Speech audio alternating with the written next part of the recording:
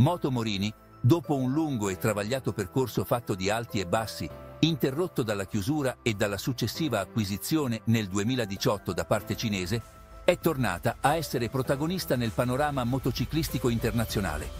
L'azienda ha ripreso a produrre moto di qualità, conquistando nuovamente una parte di mercato con modelli innovativi e performance di rilievo.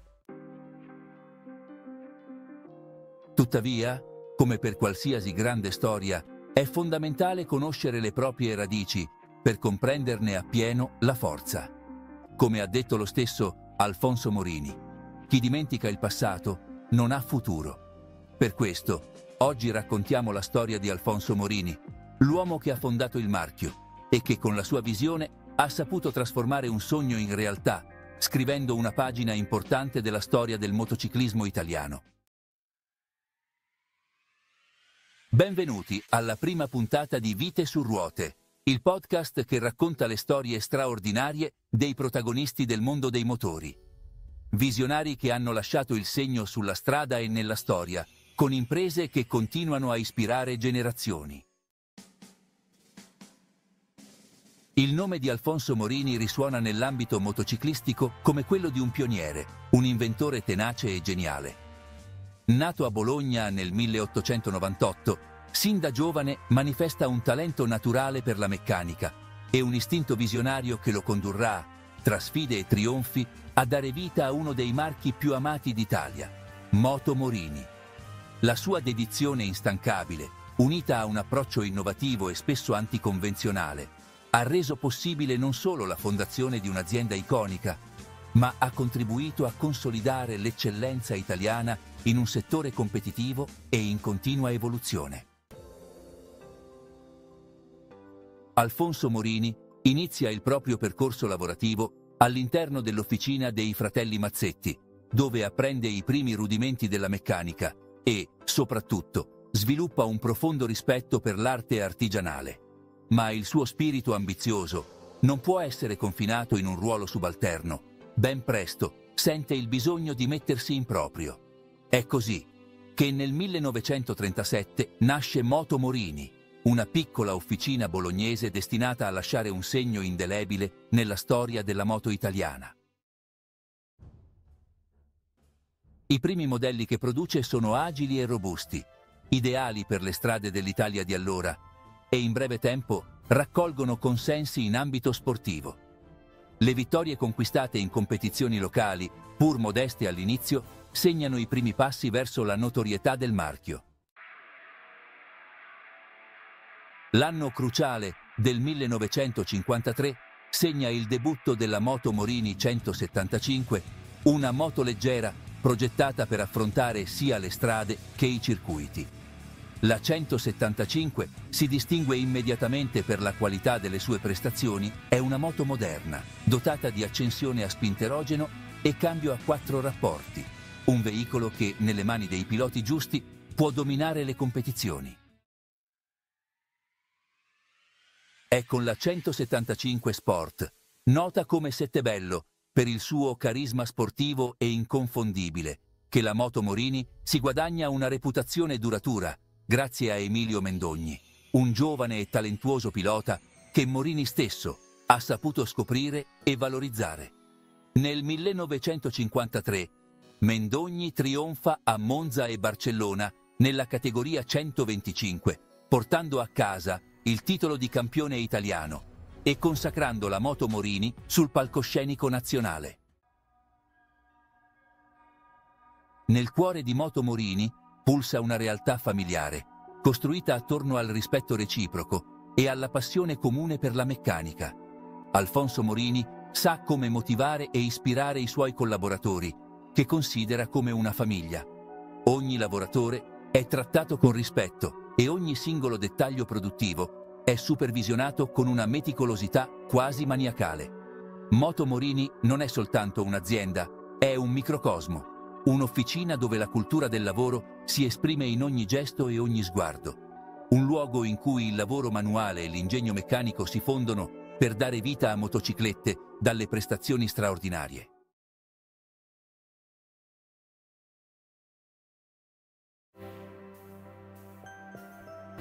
La fiducia e il rispetto che Morini ispira nei suoi collaboratori sono evidenti anche nei momenti di difficoltà. Quando l'azienda è costretta ad affrontare sfide economiche e tecniche, i lavoratori rispondono con un impegno e una dedizione che va oltre il semplice senso del dovere. È un legame umano, un'etica condivisa che permette alla Moto Morini di sopravvivere e prosperare anche nelle fasi più critiche. Con il crescere della domanda, l'officina di Via Berti non basta più. Morini, che non perde mai di vista il futuro, pianifica e realizza un nuovo stabilimento in Via Oslavia, esteso su due piani e su una superficie di 10.000 metri quadri. È il 16 settembre 1956, quando la nuova sede viene inaugurata in grande stile, alla presenza di figure di rilievo come il cardinale arcivescovo Giacomo Lercaro e il ministro delle poste e telecomunicazioni Giovanni Braschi. È un momento di grande orgoglio per Morini, che in quell'occasione si esprime in un italiano formale, mettendo da parte il dialetto bolognese per sottolineare l'importanza dell'evento. Moto Morini non è più solo un'officina artigianale, è diventata una realtà industriale che contribuisce al prestigio nazionale. L'evoluzione della gamma Moto Morini è continua, così come il successo sui circuiti. Nel 1955 il modello Rebello, un'altra straordinaria creazione, trionfa al Motogiro d'Italia, con un podio completamente conquistato dai piloti della Moto Morini Mendogni Primo Speziali, secondo Mattei III.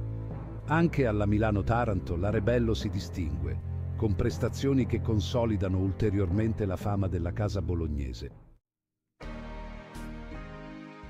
La gamma di modelli si amplia per rispondere a una clientela sempre più vasta, dal sbarazzino di 98 cc ai modelli Briscola Turismo, Gran Turismo e Supersport, fino al già celebre Sette Bello. Alfonso Morini non è soltanto un grande imprenditore, è anche un uomo che sa riconoscere il valore dei talenti che lo circondano.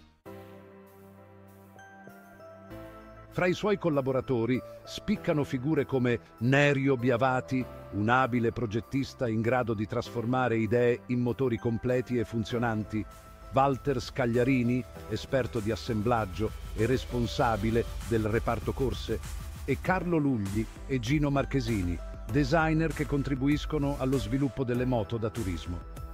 Grazie a questa squadra affiatata, Moto Morini è in grado di rispondere alle nuove sfide con prontezza ed efficienza.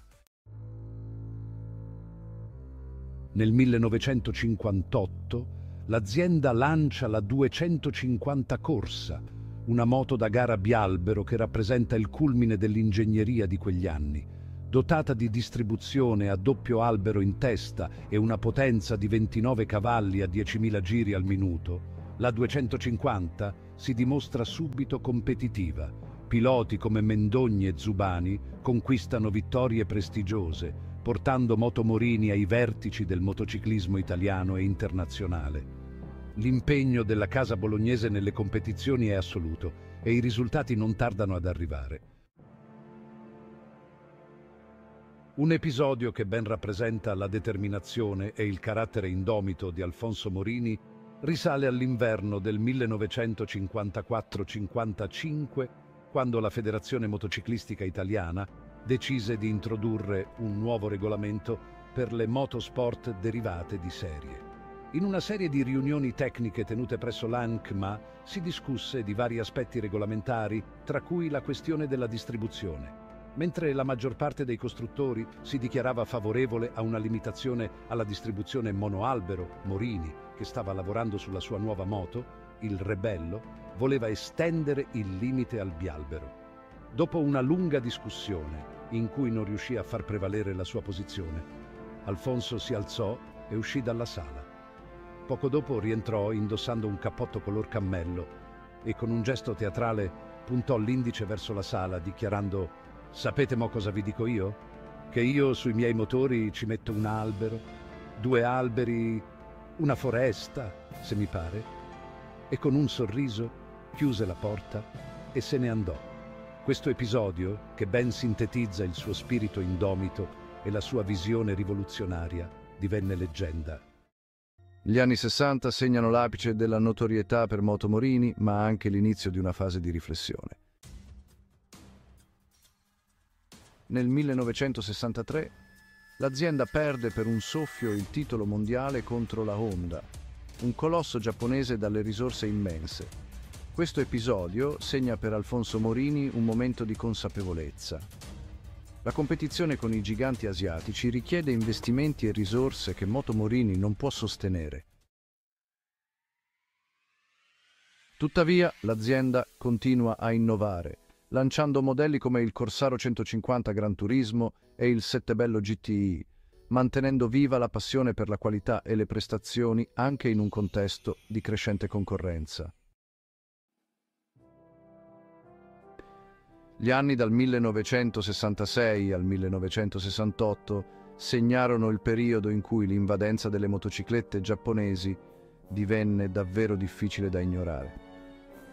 Non solo nel comparto sportivo dove marchi come Honda, Yamaha e Suzuki raccoglievano sempre più successi nelle competizioni internazionali, ma anche nel mercato delle moto da turismo, dove le case giapponesi iniziarono a conquistare fette sempre più ampie di mercato.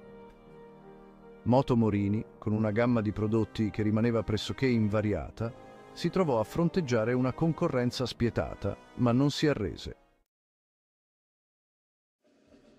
Il Corsarino Scrambler arricchiva la già celebre produzione, ma il reparto corse si concentrava soprattutto sulle gare italiane, relegando la scena internazionale al dominio incontrastato dei rivali orientali. In un'epoca in cui l'innovazione correva a velocità inaudite, Alfonso Morini, seppur ormai più avanti negli anni, non si rassegnò. L'ingegno che gli aveva permesso di inventare il bialbero nel dopoguerra non abbandonò la sua mente. Nonostante la potenza dei giapponesi, continuò a lavorare sul motore della sua 250 bialbero, realizzando delle versioni innovative con motori a 3 e 4 valvole. Quella tenacia, quella voglia di non fermarsi mai, lo portò a rivisitare vecchi modelli e a creare nuove soluzioni tecniche, pur senza riuscire a competere con la potenza industriale dei nuovi colossi del motociclismo mondiale. In questo contesto, la Moto Morini si avvaleva del pilota Angelo Bergamonti, che portava la bandiera del marchio con onore. Nel 1966, con la sua 175, vinse il campionato della montagna, mentre il compagno di squadra Peronio si aggiudicò il titolo Juniores. Un anno dopo Bergamonti si classificò secondo con la 175 nel campionato della montagna e primo con la 250 nel campionato velocità Seniores.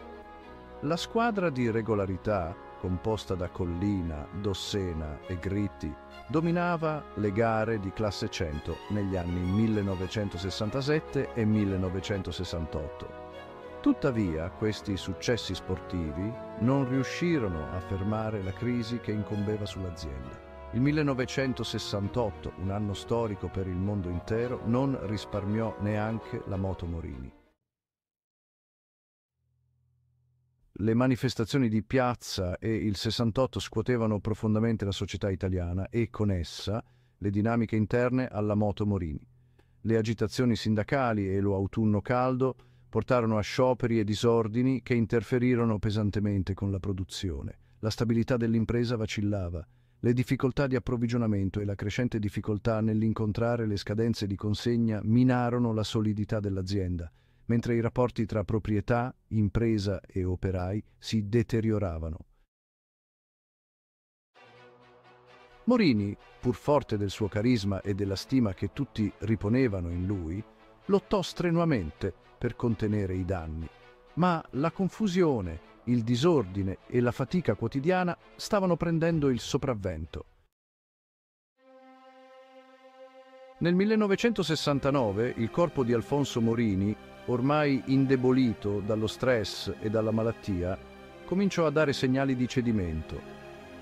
Nonostante fosse ricoverato nella clinica Villa Erbosa per curarsi, egli mostrava una determinazione incrollabile, dichiarando che stava bene e che voleva tornare subito al lavoro. Ma la sua vitalità fu spezzata in modo improvviso. Il 30 giugno 1969 la morte lo colse mentre era ancora in cura, lasciando un vuoto incolmabile, non solo per la moto Morini, ma per l'intero mondo del motociclismo. Dopo la morte di Alfonso Morini, l'azienda passò sotto la guida della figlia Gabriella, che, pur laureata in legge, tentò di preservare la tradizione e la continuità del marchio. Tuttavia la stima e l'affetto che circondavano la figura di Alfonso Morini non bastarono a mantenere intatto il valore della sua creatura. I fedelissimi si fecero interpreti di questa continuità, ma il vuoto lasciato dal fondatore sembrava impossibile da colmare.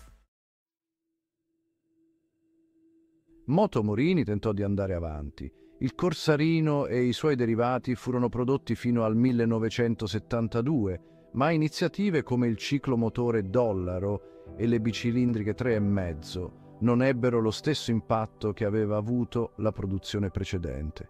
Morini continuò comunque a distinguersi nel mondo sportivo, con la 175 che rimase una delle moto più agguerrite nelle gare di regolarità e salita, fino a ben oltre il 1974.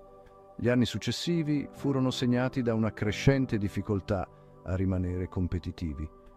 Le moto fuori strada come il Camel 500 e il Kanguro 350, introdotte nel 1982, non riuscirono a risollevare la situazione. Nel 1984 l'ultima evoluzione della linea 3,5, il modello K2, sembrava l'ultimo tentativo di rivitalizzare un marchio che faticava a tenere il passo con i rivali italiani e soprattutto con quelli esteri. Quando nel 1987 il marchio fu ceduto al gruppo Ducati Cagiva, la Moto Morini subì quella che sarebbe stata definita un'ibernazione. Sebbene i diritti sul marchio rimanessero con Ducati, la produzione venne interrotta e la Moto Morini fu esclusa dal programma di sviluppo. Molti anni dopo il viandante che si fermasse a osservare il vecchio stabilimento della Moto Morini a Bologna avrebbe avuto una sensazione malinconica. I muri erano ancora integri, ma screpolati. I vetri rotti e gli infissi arrugginiti sembravano testimoniare il lento e inesorabile abbandono. Dove erano finiti gli operai, i tecnici, i corridori in cerca di assistenza? dove i camion che partivano pieni di motociclette dirette verso le destinazioni più lontane.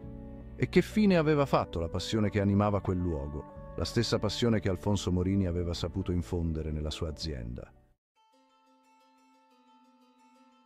In realtà quella scena rifletteva un quadro più ampio Bologna, come molte altre città italiane, stava cambiando, le industrie sopravvivevano a fatica, molte divennero proprietà estere mentre altre chiusero i battenti. Le grandi motociclette italiane, come quelle della Ducati, sopravvivevano a metà. Il mercato internazionale era dominato dai marchi giapponesi e la produzione italiana si concentrava ormai principalmente su ciclomotori e scooter.